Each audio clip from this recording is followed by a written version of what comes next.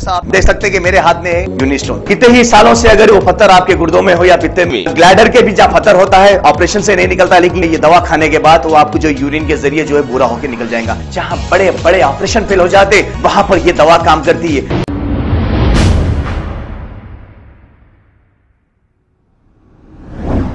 वालेकुम नाजरीन seven H news सच को रखे आपके आगे। बाईस साल मोहम्मद वाजिद, जो बाज़ार घाट के रहने वाले थे। आठ महीने कबल इन्हें आर्म्स एक्ट में बुक करके चंचलगुड़ा जेल को रवाना कर दिया गया था। और ये आठ महीने से जेल में थे। अचानक इनके घर वालों को ये इत्तला दी गई है कि आपके बेटे का इंतकाल हो गया। तफसीलात के मुताबिक आपने अक्सर सुना होगा कि क्राइम करने वालों को पुलिस वाले मारते हैं, लेकिन ऐसा नहीं। जेल में भी बेतहाशा मारते हैं, लेकिन जेल में मार खाने वालों के मार दिखाई नहीं देते और वो किसी से भी फरियाद नहीं कर सकते, क्योंकि वो जेल में होते हैं। अब मोहम्मद वाजिद के मामले की तहकीकात किसी सिटिंग जज से करानी चाहिए, क्योंकि एक नौजवान लड़का अचानक कैसे मर सकता है? सारा शक व शुबा जेल के अहदेदारों पर जाता है। आइए सुनते हैं तमाम तफसीलात, इनके वालदा की जुबानी। मेरा नाम नूरजहाँ है मोहम्मद वाजिद का इंतकाल हुआ। एम सेट में इसको हबीब नगर पीएस से बुक करे थे। बेल उसकी हो गई थी लोग देने के लिए दो तीन दिन ही से उसको लेके जाने के लिए। अचानक फ़ोन करके बोले कि फ़िक्स आके इंतकाल होगा। फ़िक्स कैसा आते फिक्स हथकड़ी के साथ उसको लेके। फिक्स भी रोक फिक्स आए तो हथ, कोई लोहा देने से फिक्स रुकते।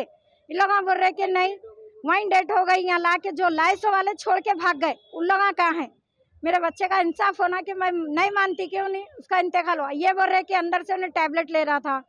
चिट्ठी थी। तो कैसा परमिशन देता वहाँ का सर्कल कैसा वो होता? तो बच्चे को मेरा इंसाफ होना लगा। अंदर कुछ न कुछ तो उसको एम सेट में उसको बुक कर रहे थे। हबीब नगर पी एस नौ महीने होगा। बेल ऑर्डर के लिए हम लोग फिर रहे थे। वो भी होगा तो लोग टला रहे पेशियों को। बोल रहे कि हाँ अब देते जब देते। बच्चा मंडे के दिन आया। मेरे से बात भी करा। मैं बोली दो तीन दिन ठहर जा बेटे, मैं लेके आती हूँ। आज नमाज़ के बाद बच्चा फ़ोन करता, नमाज़ की टोपी निकली उसके पास से।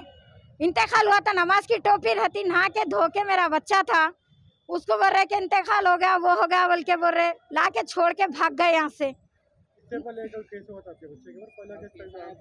है पुराने दोस्तों का वह ऐसा कुछ भी नहीं था गलत वो नहीं था लड़ाई झगड़े का था मैं मानती हूँ मेरा बच्चा ऐसा करा बोल के भाई कौन सा कानून? रेप केस करने वालों को छोड़ देते मर्डर करने वालों को छोड़ते। ये बच्चा लड़ाई झगड़े वाले को मर्डर कर देते बच्चे का अंदर तुम लोग सजा देना था पर, उसको पनिशमेंट में रखना था। मेरे बच्चे को मारे उसके आँख पे निशाना है। उन लोगों की कस्टडी में छुआ से जेल में हुआ से वहाँ से मेरे बच्चे के आँख पे नीले नीले निशाना है इसके।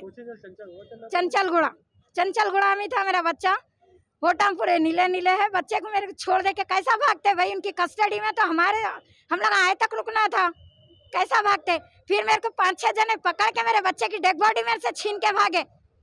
मैं नहीं दे रही तो डेड बॉडी मेरे को पूरी कस्टडी में पूरी लेडीज़ कांस्टेबल मेरे को पकड़ के मेरे बच्चे को छीन के लेके गए। हम लोगों को एक बजे के टाइम पे इतला मिली। मेरा बच्चा मेरे बच्चे को फ़ोन करे जेलर फ़ोन करके बोले तुम्हारे भाई को फिक्स है। फिक्स है तो कौन सा बच्चा फिक्स में मरता? फिक्स है कभी भी वो नहीं होता। डॉक्टर को मैं जाके बात करी तो डॉक्टर बोल रहे कि नहीं बच्चे का पहले से इंतकाल हो गया था या ला के छोड़ के गए बोल रहे। मेरे को तो अंदर ही चिल्लो का कुछ ना कुछ या बच्चे को मेरे खिलाए खिला के या मारे। या तो कुछ उन लोगों को उसको पनिशमेंट में कुछ न कुछ तो करे लोग उसके साथ। मेरा सेहतमंद अल्हम्दुलिल्लाह मेरा बच्चे को कभी फिक्स नहीं है। कभी मेरे बच्चे को ऐसा कुछ ऐसा नहीं था कोई बीमारी नहीं थी कुछ नहीं थी। कैसा फिक्स आके फिक्स आने के बाद भी कौन मरता? मेडिकल के हिसाब से भी देखा गया तो नहीं मरते। फिक्स आने के बाद उसको लोहा देने के बाद कंट्रोल में आता। उसके हाथ में हथकड़ी है। वो कुछ न कुछ तो करे पुलिस वालों का हाथ है। कभी नहीं आए। ये पहली बार अचानक कैसा आते? इनके ट्वेंटी टू थी। अभी अभी इनको ट्वेंटी टू लगे इनके। फ़र्स्ट टाइम कभी नहीं हुआ। कोई नहीं बात कर रहा है नहीं बोल रहा उसको बोल रहा नहीं उसको बोल रहा। नहीं भाई हमारे को नहीं मालूम तुम्हारे नहीं मालूम। कोई सही बात नहीं कर रहे भाई। मेरे बच्चे की लाश अब सुबह से एक बजे से यहाँ कब कब मारा क्या मालूम मेरा बच्चा? मैं मेरा एक बजे पता चला। मेरे बड़े बच्चे को पता चला, उन्हें मेरे को फ़ोन करके बोला। तो हम लोग उस्मानिया को आए। आने के बाद मेरा बच्चा वहाँ पड़े हुआ है। कोई नहीं है उसके पास। हम ढूंढ के पर्दे डाल के रखे। हम आके ढूंढ के हम लोग पूछ रहे तो कोई पुलिस वाला नहीं बोल रहा? हमारे नहीं मालूम, तुम्हारे नहीं कैसा छोड़ के जाते भाई? डेड बॉडी आप लोगों की कस्टडी में रहने के बाद। कौन सा कानून है? नहीं साहब को यही इंसाफ चल रहा है। मोहम्मद अली साहब भी किधर है? क्या मर्डर करे सो आलम को छोड़ देते? रेप केस करे सो आलम छोड़ देते? ये बच्चा लड़ाई झगड़ा करता था, पीता था, खाता था, मानती वही तो ये केस में क्या उसका मर्डर करते? नहीं भाई, तुम पनिशमेंट दे देना था। मैं मान लेती थी। मगर क्या ऐसा गुना करा था जो मेरे बच्चे को ऐसी इतनी बड़ी हो दिया? मेरा बच्चा तो नहीं आता ना अब। मेरे बच्चे की तो जान ले लिए, लेने वाले। उन लोगों को तो सजा होना, मेरे को इंसाफ होना। ऐसा आप देख सकते हैं कि मेरे हाथ में है यूनिस्टोन। कितने ही सालों से अगर वो पत्थर आपके गुर्दों में हो या पित्ते में ग्लैडर के भी जहाँ पत्थर होता है ऑपरेशन से नहीं निकलता लेकिन ये दवा खाने के बाद वो आपको जो यूरिन के ज़रिए जो है बुरा होकर निकल जाएगा। जहाँ बड़े बड़े ऑपरेशन फेल हो जाते वहाँ पर ये दवा काम करती है। गुर्दे और पित्ते की पत्री ये प्रोडक्ट से गल जाती है। फिर दोबारा पत्री फॉर्म होने नहीं देती और इसमें कोई साइड इफ़ेक्ट भी नहीं है। R and S Unani pharmacy first floor opposite Canara bank Bahadurpura X road Hyderabad. खबर है शहर की। खबर है गाँव की। खबर है सारी दुनिया की। सेवन एच न्यूज़ पसंद आए तो लाइक कीजिए शेयर कीजिए। और सब्सक्राइब करना ना भूले। Seven H news